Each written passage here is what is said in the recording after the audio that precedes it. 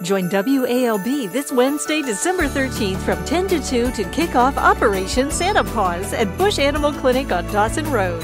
Help us stuff the truck provided by Autoland with all things animal. Unopened bags of dog and cat food, toys, litter, beds, collars, etc. All proceeds go to the Albany Humane Society so that no animal goes hungry this holiday season.